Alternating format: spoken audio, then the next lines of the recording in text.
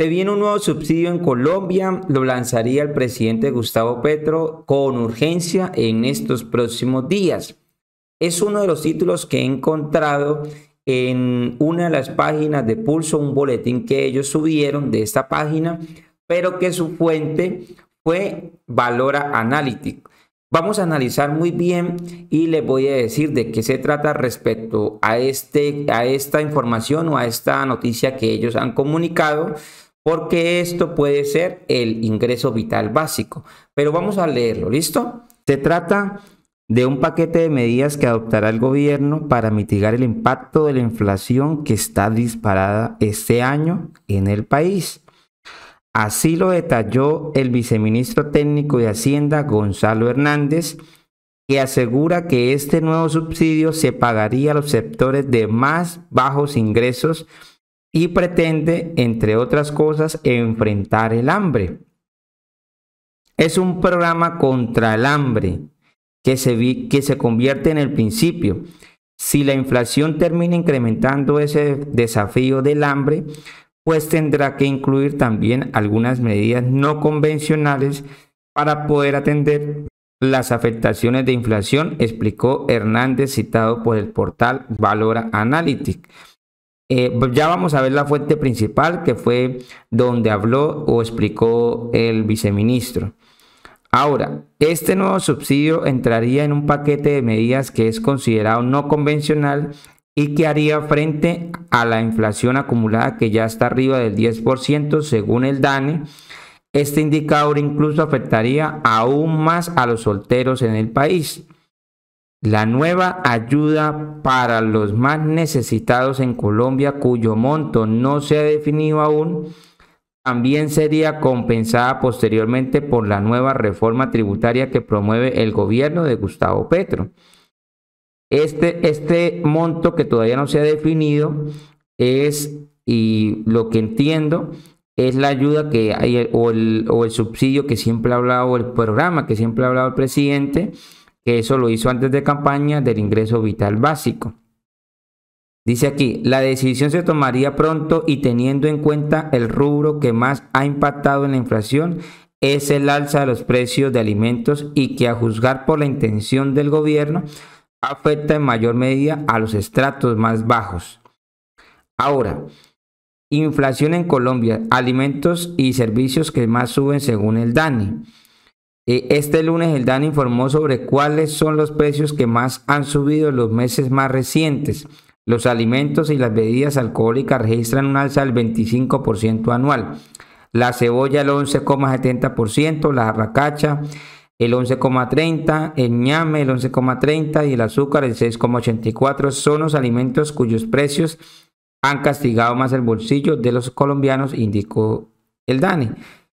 Ahora voy a dirigirme pues a la fuente principal donde eh, sacaron esta noticia, este comunicado el 5 de septiembre, o sea, hace poquitos días, donde el título era el siguiente, Gobierno Petro tomará medidas no convencionales para combatir inflación. Con base en el resultado en mención, los analistas prevén que la inflación termina muy cerca del doble dígito con presiones que llega desde el lado de los alimentos y las decisiones de la Reserva Federal de Estados Unidos al cierre de 2022.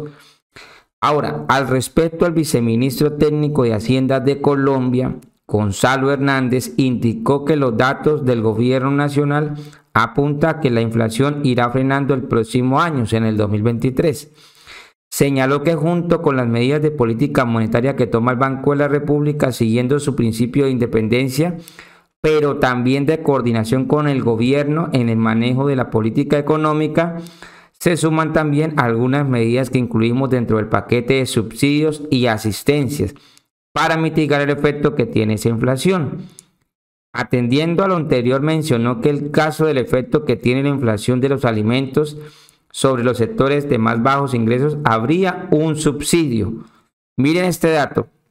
Esto es importante porque lo quiero resaltar. Sobre los sectores de más bajos ingresos, habría un subsidio es un programa, aquí viene la clave, entre comillas, es un programa contra el hambre que se convierte en el principio principal.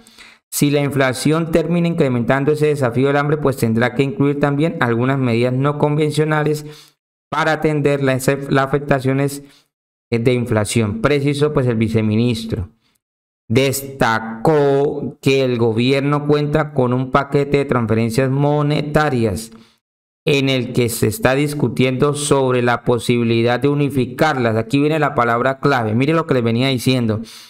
Cuando hablamos de unificar es lo que siempre les he dicho y lo que él ha manifestado antes que fuera presidente en campaña, de unificar estas ayudas y convertirla en un ingreso vital básico de medio salario mínimo. Ustedes ya saben eso. Para que éstas sean más efectivas. Eso ya lo habíamos hablado. O sea, lo que ha manifestado el viceministro es que esto va a ser pronto, que el subsidio que se va a dar o que está planeando o que está proyectando el presidente Gustavo Petro es unificarlas y dar el ingreso vital básico.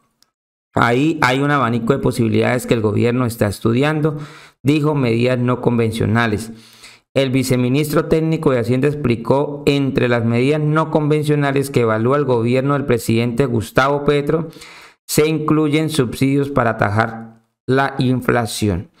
Entonces, eso es lo que se va a dar, la lucha contra el hambre, la unificación de programas. ¿Quién lo dijo? El viceministro Hernández, según este portal Valora Analytics. Eso es lo que les quería decir, ya que me han estado compartiendo esto. Mire, Winter, lo que salió, este nuevo subsidio de qué se trata. Este es el mismo que se ha venido hablando por el presidente Gustavo Petro, que es eh, el ingreso vital básico poder unificar las ayudas, dejar una sola para que ésta pues tenga un mayor monto y un mayor alcance para los hogares pobres y vulnerables que tanto lo necesitan. Esas son las transferencias monetarias, que son familias en acción, jóvenes en acción, devolución del IVA, Colombia Mayor y también está ingreso solidario. Entonces, para resumirles, lo que vemos o lo que les acabé de mostrar en estas dos páginas, tanto en Pulso como en Valor Analytics, en este portal de lo que manifestó el viceministro de Hacienda de Colombia,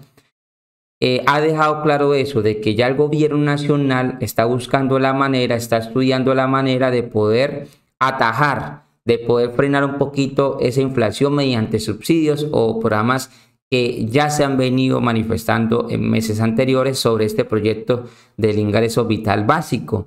Es la unificación de programas, dejar uno solo para los hogares, de modo que no va a haber, o sea, no va a haber eh, diferencia en que un hogar reciba menos o reciba más.